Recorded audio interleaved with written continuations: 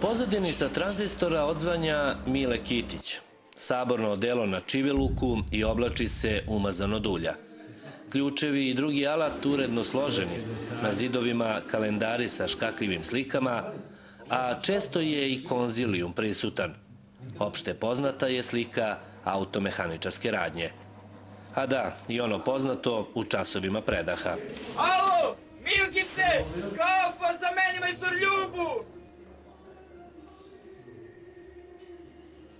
Braća Nebojša i Radiša automehaničarskim poslom se bave skoro deceniju i vrlo su uspešni u njemu.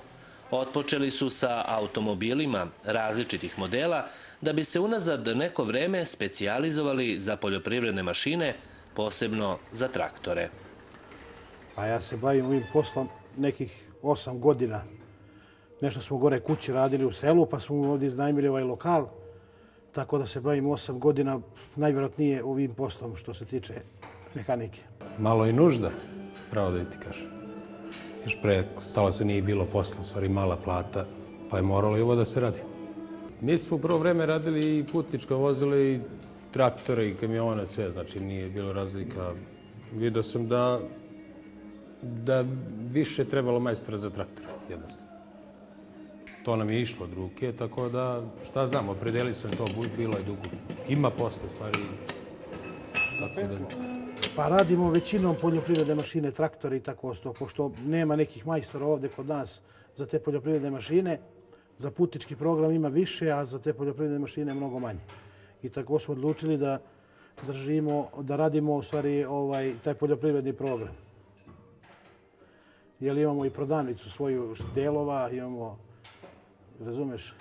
Ja radim na poslu sud, tako kad završi sa smenom, dođemo ovde da radim.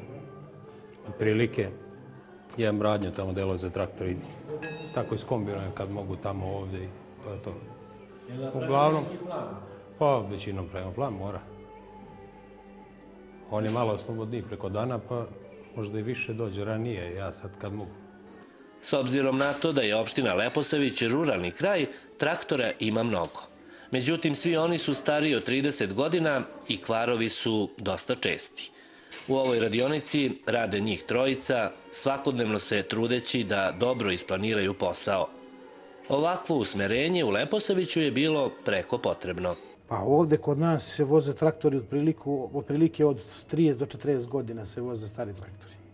Verovali ili ne neki napredak, nešto sad u poslednje vrijeme, malo su eto ljudi počeli da te duplake, traktore malo novih programa da, da, da uzimaju, ali to je mali broj. Još uvijek se vozi ovo što se ima, što kažu ono stari narod, krpi se, radi se i to je to.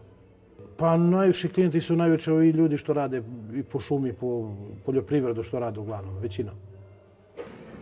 Pa solidno, dobro funkcioniše, šta znam.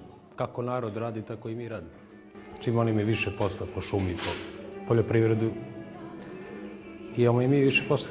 Jeste, jeste nedostajalo. To, to smo mi videli u tome i to smo počeli da radimo. Nismo radili to baš, to nam je glavna struka, ali mora da se rade dva posla da bi se obstalo živo. Ne može od jednog posla teško da obstane. Braća Tanasković potvrđuju priču koja je odavno poznata. Mladi ne žele da se bave ovim poslom i prava je redkost naići na nekog ko želi da se priključi njihovom timu. Evo vidiš ovoga radnika ovde kod nas. Imali smo potrebu, imali smo posla dosta da nam je trebao radnik ovaj, zbog posla i nabavili smo ovoga mladog dečka koji je izuzetno dobar dečak, poslušan, radan, gde vrlo mali broj ovako mladih ljudi hoće da radi bilo koji posao. To je izuzetan jedan dečko iz dobre porodice iz koji se ne libi nikakvog posla. I preporučujem bi svim mladima da ne biraju posao, nego da rade bilo koji posao koji, samo koji je ispatljiv. Pa ima, dosta dođe tu mladih ljudi, pa misle da je to malo brža para, ali ima ljudi koji hoće da radi, kao ovaj dečko što hoće da radi.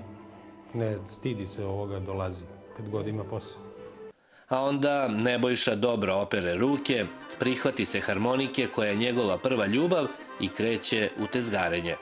Poznat je u čitavom kraju kao dobar harmonikaž i za ovu delatnost ostavlja vikend.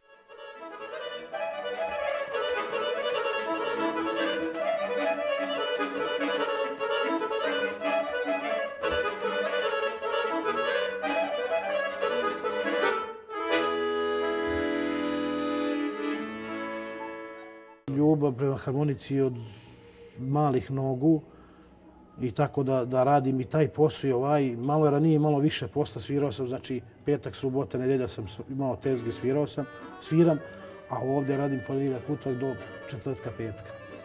Da ne bi bio, što kažu narod, dokolan. To mi je glavni posao, ali nažalost tog od jednog posla ne može da se živi. Nisam ja došao mojom voljom ovdje, nego došao sam zato što moram. Bila je ovo priča iz majstorske radionice. Jedan neobičan zapis o mehanici i umetnosti. Ali je svakako ovo priča i o našoj svakodnevnici gde se od jednog posla ne može živeti.